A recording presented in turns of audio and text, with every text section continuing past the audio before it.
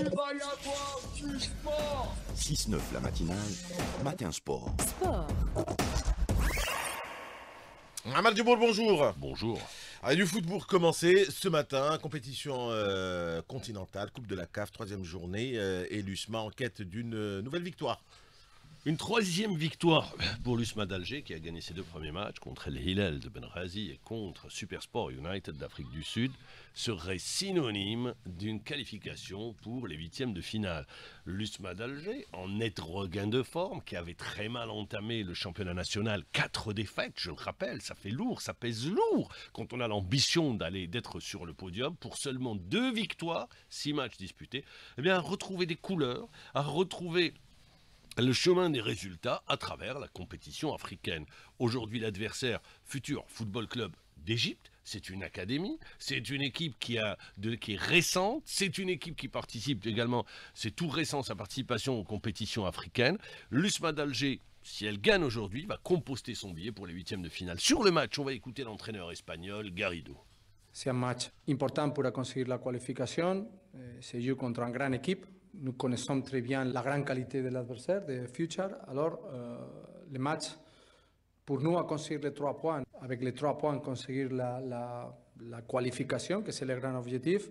Le match va demander beaucoup parce que l'adversaire, c'est un adversaire de beaucoup de qualité, avec beaucoup d'expérience, avec joueurs de beaucoup de, de grand niveau.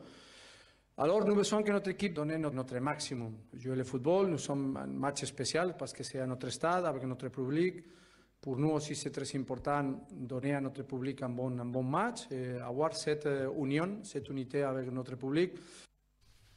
Voilà, jusqu'à Garrido, l'entraîneur espagnol de l'USMA d'Alger. Jusqu'à hier, il y avait 18 000 billets, disons 20 000 billets qui ont été vendus pour cette rencontre sur la plateforme d'achat de billets pour cette confrontation qui aura lieu à 20h. Ça sera en direct sur les ondes d'Alger Chin 3. Je rappelle que dans ce groupe, à 17h, il y aura le Hilal de Benrazi face à Supersport United d'Afrique du Sud. Dans le groupe B, le Zamalek a battu hier sa Grada Esperança d'Angola sur le score d'un but à zéro. Dans ce groupe B, il y aura aujourd'hui Abu Salem de Libye face à Koya de Guinée. Dans le groupe C, Rivers United du Nigeria affronte le club africain et Academica d'Olobito d'Angola face à Dreams du Ghana et dans le groupe D.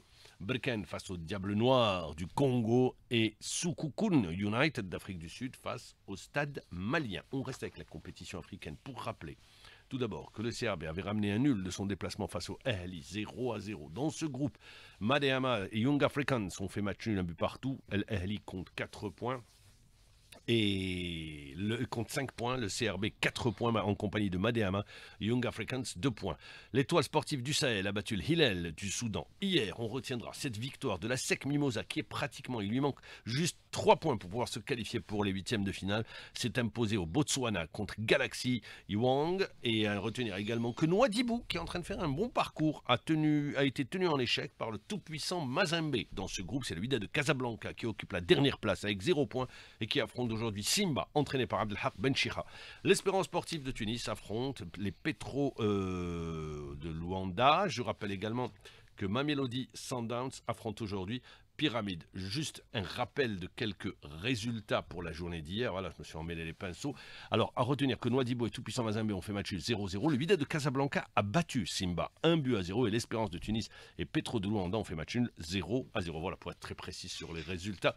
Petite, juste une petite erreur. On enchaîne le championnat de Ligue 1 Allez, match euh, d'hier, Mamar Djabour, avec. euh, Est-ce qu'il y a du changement au classement? Non, le changement Non, est toujours leader. C'est le Mouloudia d'Alger qui imprime son rythme à la compétition. 24 points sur 27 possibles après une victoire contre le Parado Athletic Club, 1 but à 0.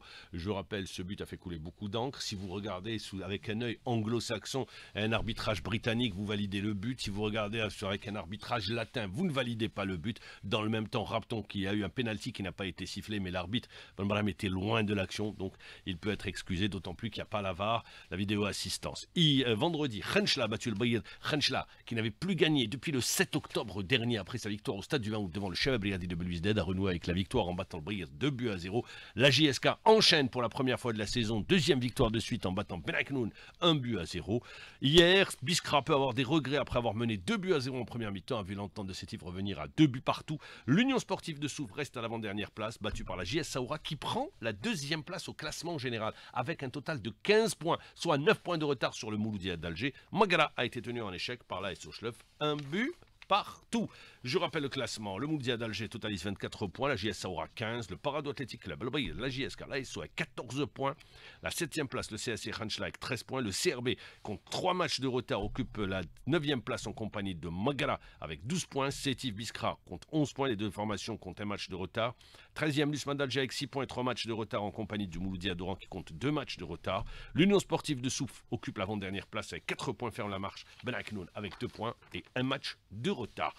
On va quitter le football pour aller sur une compétition, la lutte. Alors, le championnat arabe de lutte, euh, le rideau tombé de rideau hier, c'était à Bagdad en Irak. Sur les six lutteurs algériens engagés dans ce championnat arabe, cinq ont décroché des médailles. Malheureusement, ce ne sont pas des médailles d'or pour nos lutteurs. Les cinq médailles sont d'argent. Hier, lors de la première journée, quatre médailles en argent ont été décrochées dans la spécialité lutte libre par Benatollah Abdelghani dans la catégorie des 61 kg, Bougar chez les 70, Ikal Abdelkader dans la catégorie des 74 et Ben Farjallah Fatah chez les 86 kg. Et pour, on retiendra Rayou Ishaq a remporté également une médaille en argent dans la catégorie des 67 kilos. On a analysé la participation algérienne avec Driss Hawes, le directeur technique national de la Fédération algérienne de lutte associée.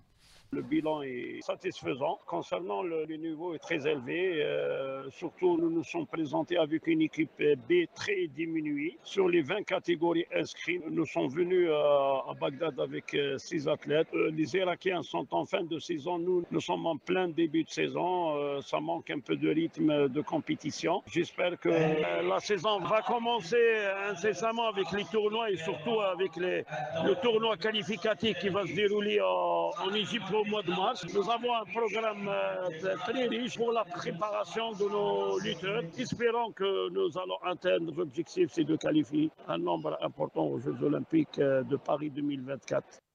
Driss Hawass, directeur technique national de la Fédération algérienne de lutte associée. Prochaine compétition, le championnat d'Algérie du 28 au 30 décembre. Et puis on va terminer par cette excellente performance de la karatéka algérienne.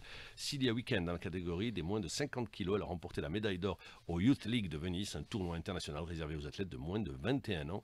C'est la ville italienne, la belle ville de Venise, qui a abrité ce tournoi. Elle a enchaîné 5 victoires et s'est imposée en finale face à l'espagnol Visuta Olivense Mira 5-0. On revient en balle, euh, Ahmad Jabour.